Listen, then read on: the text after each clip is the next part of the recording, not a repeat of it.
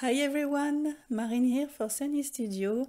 I am thrilled to be back with this new edge-to-edge mini slimline shaker card featuring the lovely balloon bouquet mini stamp set. I also picked the bunny, the bottom of the hot air balloon and a sentiment from Balloon Rides. And to create the word soar, I used some dies from the Chloe alphabet die set.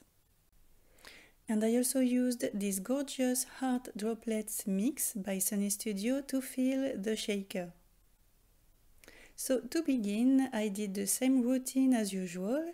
I stamped the images using an alcohol marker friendly black ink. I cut them all using the coordinating dies and then colored everything using my alcohol markers. I stamped the balloon bouquet three times to get a big balloon bouquet and I went with traditional Valentine colors, red, pink and white. And right after the red markers, you will notice that I used my new Spectrum Noir Illustrator markers.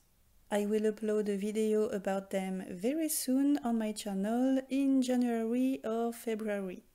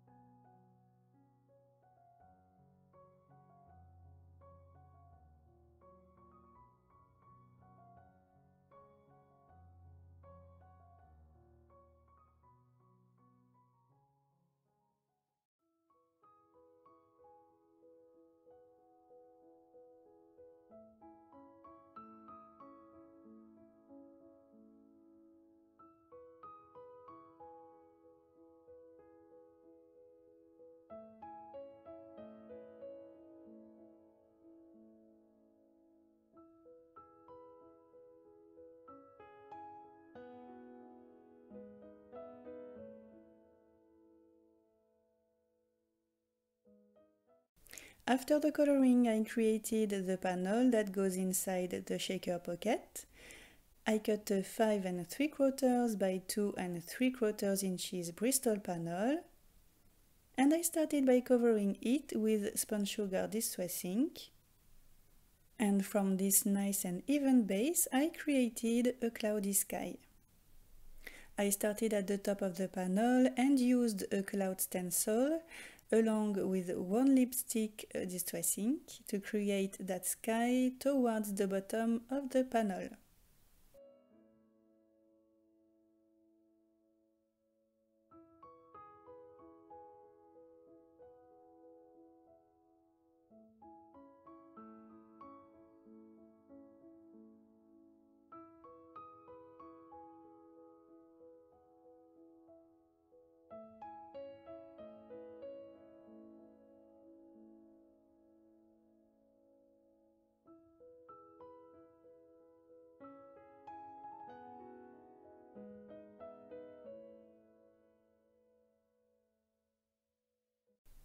Once I was happy with the result, I added some texture to that cloudy sky, even if I knew that this panel would be partially hidden behind the images and the shaker accessories. So I started with some water droplets that I dried using a paper towel. Next I mixed some worn lipstick distress ink with water and added lots of splatters using a small brush. And finally, one more thing I always do, I mixed a few drops of Opaque white ink with water and added more splatters on the paper. Next, I took a plastic packaging from my stash, I cut the four edges off and got two plastic sheets I kept one of those and as you can see there is enough plastic on the sides so I can't wrap those four edges around the cloudy panel. So I added double-sided tape on the four edges. I placed my panel right in the center and then I cut the corners off. By cutting those corners off, we don't pile the plastic up and this way the shaker pocket stays flat the corners don't stick up. So we're done with the four corners.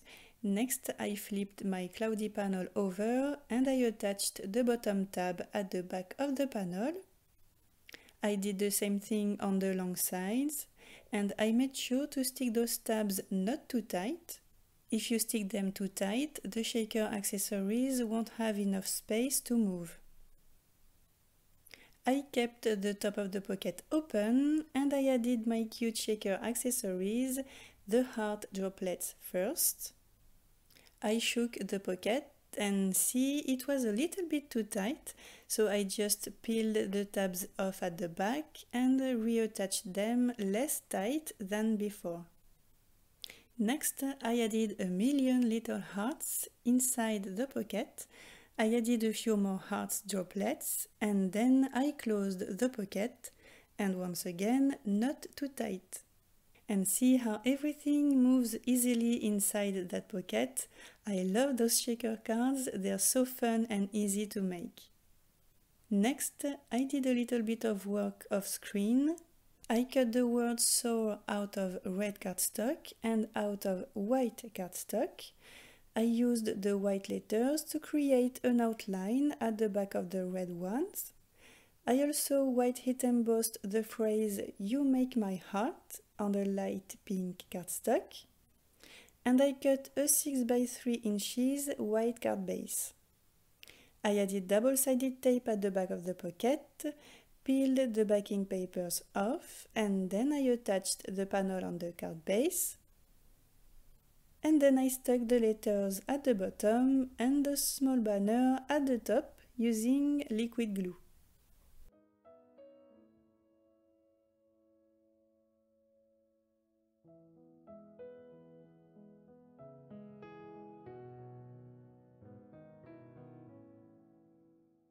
Off screen I added white dots on the pink balloons using a gel pen and then I finally attached those cute images on the pocket using glue dots.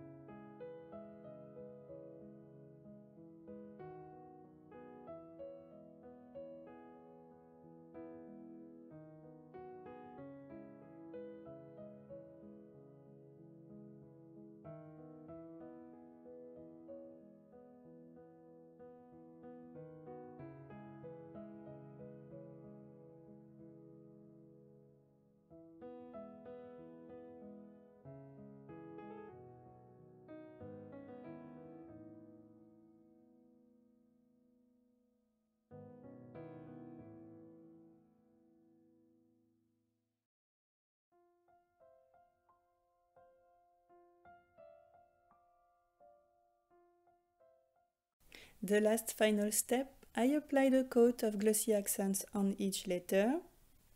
It's definitely not necessary, but I thought that it would look nice to have an extra touch of shine. And it's done super cute, super shiny and super romantic. And I think that it would also look fantastic with a light blue background and blue shades for the balloons or even a whole rainbow theme with rainbow balloons and a rainbow cloudy sky at the back. Anyway, thank you so much for stopping by.